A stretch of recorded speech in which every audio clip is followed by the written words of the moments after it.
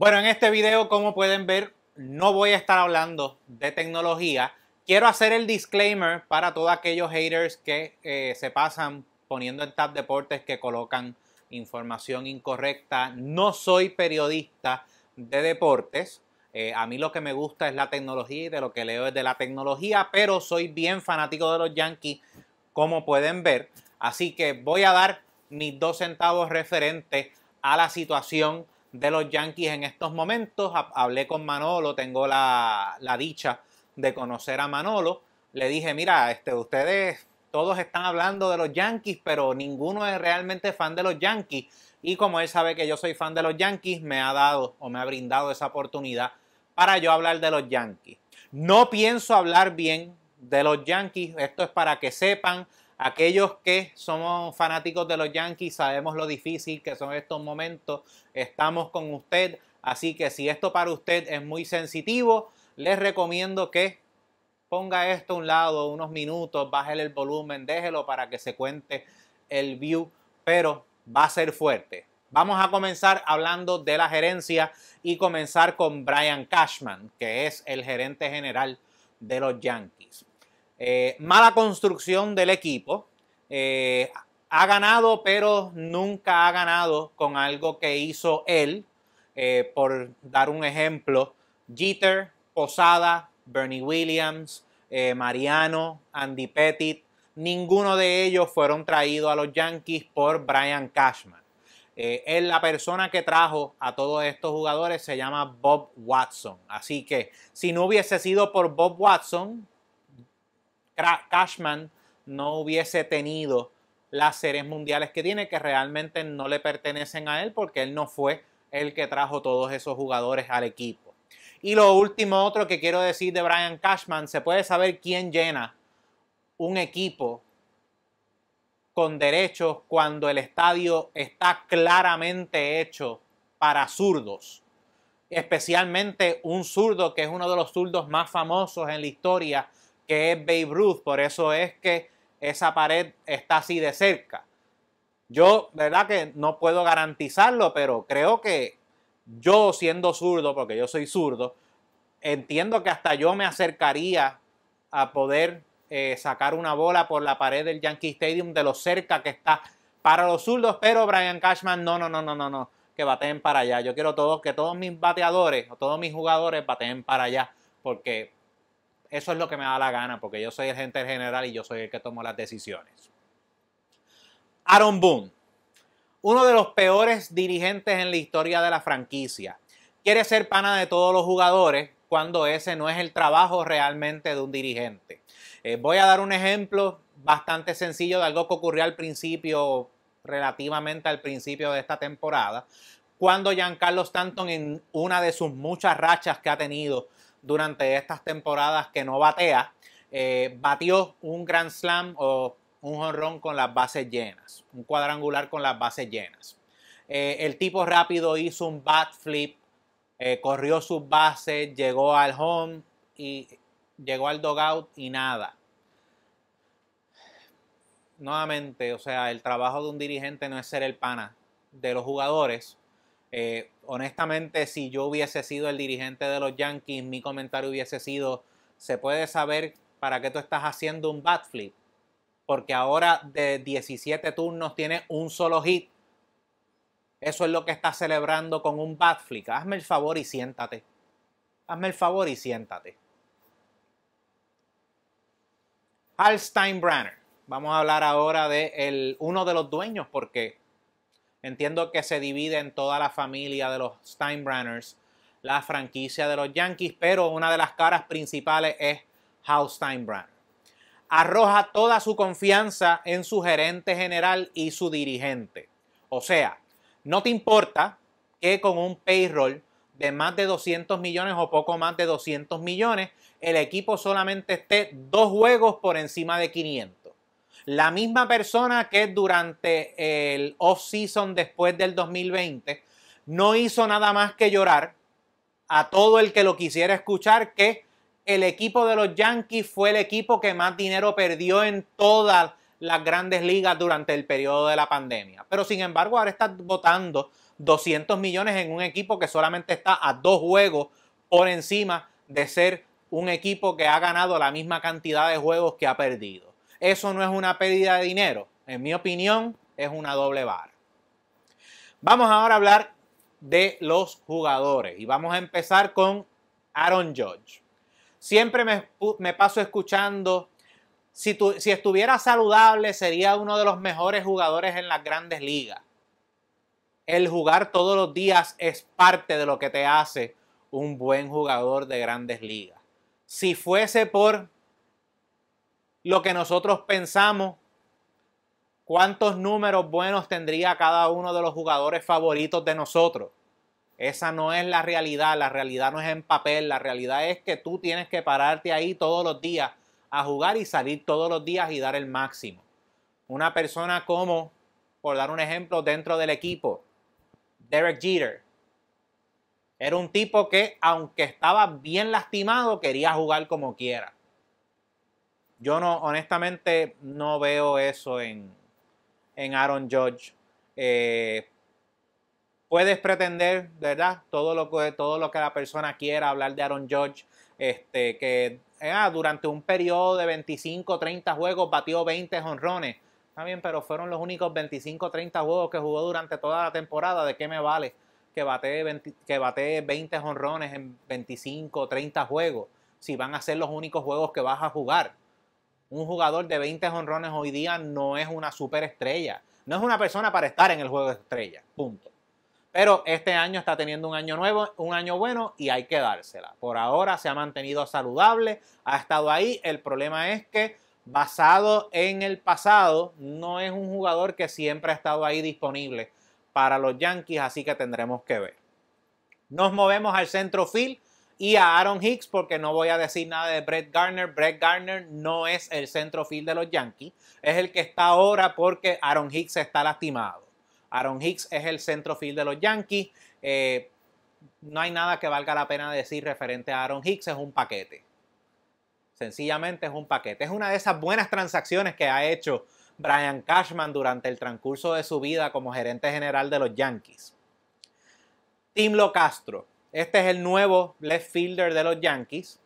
Eh, realmente left field, right field. A veces lo ponen en centro field es el nuevo, aparece que es el nuevo utility outfielder de los Yankees, pero basado en la que se lastimó eh, Miguel Andújar, que era el que estaba jugando anteriormente y que Clint Frazier nunca arrancó, pues pusieron a Tim Locastro mayormente en el left field.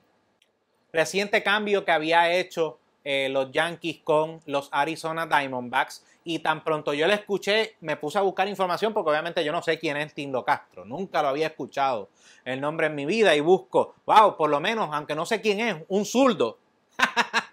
claro que no. Otro derecho porque yo quiero que la bola vaya para la izquierda, no para la derecha, donde se supone que es cortito para que puedan batear los honrones fáciles. No, no, no, yo quiero que vayan para otro lado que es más difícil. Gracias, Brian Cashman. Vamos a continuar porque de verdad que falta eh, cositas por decir y pues quiero tratar de mantener lo más corto posible. La próxima persona es eh, Luke Boy. Otro paquete. De verdad, de verdad que es otro paquete.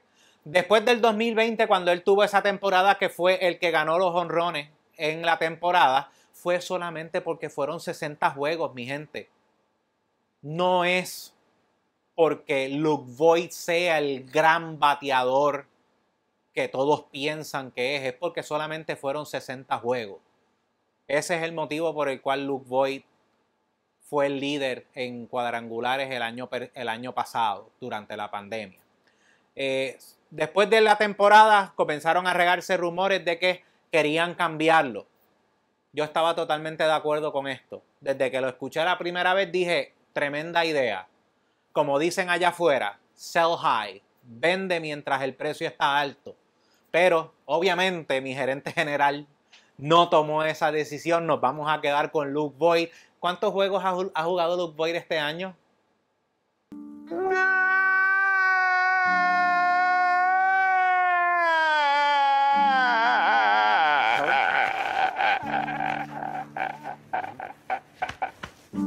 Si lleva más de 20, estoy seguro que no llega a los 30. O sea, gracias, Brian Cashman, gracias.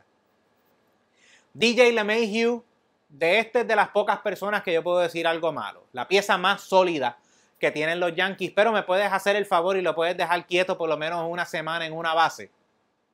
Hoy está en segunda, mañana está en tercera, pasado está en primera. Bendito sea Dios, déjalo quieto. No me va a sorprender que el día menos pensado, cuando ni Higashioka ni Gary Sánchez estén batiendo, DJ LeMahieu va a ser el catcher para el día de hoy. Y cuando, y cuando Chapman no pueda cerrar el juego, DJ LeMahieu va a ser el nuevo closer o el cerrador nuevo de los Yankees, porque ellos todos los boquetes que están los resuelven y los tapan con DJ LeMahieu. Gleyber Torres comprobó una de dos cosas. O que durante el 2019, que fue cuando se indicó que los Yankees estaban usando algún tipo de objeto, algún tipo de esquema para obtener las señales y saber cuáles eran los, lanzamientos que, que venían, comprobó que o eso era cierto o que ese año 2019 que él tuvo, donde batió creo que fueron 38 cuadrangulares, fue la, lo, lo, distinto y que este Gleyber Torres es realmente el Gleyber Torres que es. Aquello fue sencillamente por ser uno de sus primeros años, tuvo la suerte de hacerlo, pero este realmente es el Gleyber Torres. Desde un principio a mí me hubiese gustado que los Yankees hubiesen cambiado a Gleyber Torres o dejarlo como segunda base del equipo dejar ir a LeMahieu, por más triste que sea, que es uno de los más sólidos. Eh, tal vez, maybe traer a Lindor algo, porque de verdad, de verdad que se necesita algo y por lo menos Lindor también era otro switch hitter. Que el switch hitter que tanto halagábamos que teníamos en el equipo ya anyway no está. So, anyway. No, me, no, no estoy muy enamorado de Gleyber Torres, como pueden notar. Eh, para aquellas personas que tengan alguna duda referente a los números de Gleyber Torres, batió 38 o lo que sea que batió en el 2019. ¿Sabes cuántos honrones tiene en el 2020 y 2021? 6. Eso es al día de hoy, que hoy es sábado 17 eh, de julio. A hoy, sábado 17 de julio, tiene 6 cuadrangulares. Gleyber Torres. El hombre que batió 38 en una temporada. Hace dos temporadas atrás. Hace temporada y media atrás porque, es más, hace una temporada. Porque estamos casi un poco más después de la mitad de la temporada de este año. O sea que a una temporada o al equivalente a una temporada, Gleyber tiene seis honrones este año. Ese es el gran Ciore de los Yankees. Para eso dejamos ir a Didi, a Didi Gregorius. Que fíjate, era zurdo. Continuamos. Gio Urshela, también de lo poco bueno que hay en el equipo, conjunto con DJ LeMahieu. De verdad que no tengo hasta el momento nada malo que decir.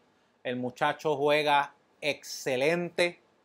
Eh, no tengo problema con que de vez en cuando haga un error, porque yo sé que si la bola la batean para donde él está, esa jugada casi segura está hecha es más de las veces que está segura de lo que está insegura esa jugada.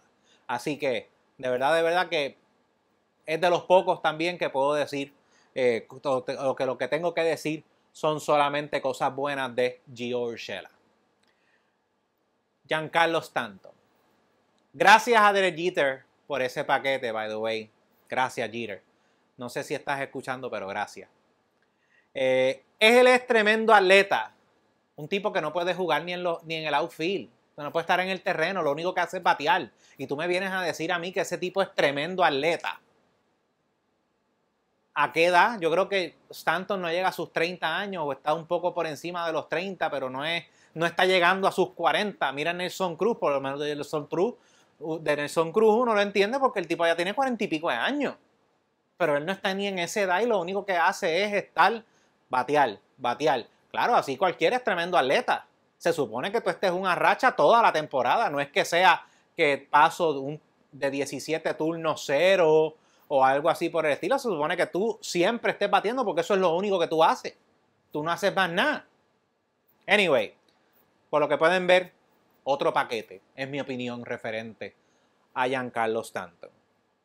Voy a ir referente a los pitchers, no los quiero discutir todos porque es mucha información. Garrett Cole, eh, como que había estado con la cosita de que tan pronto empezaron a hacer el, eh, las verificaciones de las sustancias controladas, no podía, no estaba pichando muy bien, pero sin embargo en el tremendo juego de Houston, que incluso Aaron Boone iba a sacarlo con dos outs en la novena entrada, que yo me imagino que Gerrit lo que hizo fue mirar al bullpen y ver que quien estaba era Chapman y decir, ¿en serio que tú me vas a sacar a mí para poner a Chapman? ¿Tú quieres perder? Eh? Tú lo que quieres es perder el juego.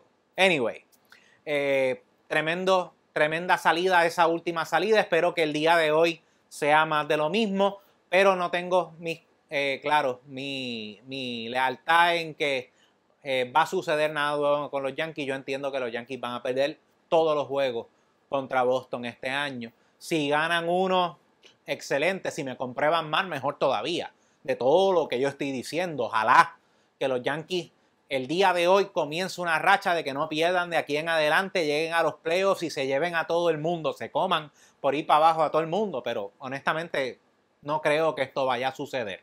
Eh, no creo que los Yankees vayan a adquirir a Joey Galo ni a nadie, así que en mi opinión no se vistan que no van, ni a José Berríos ni a nadie, no se vistan que no van.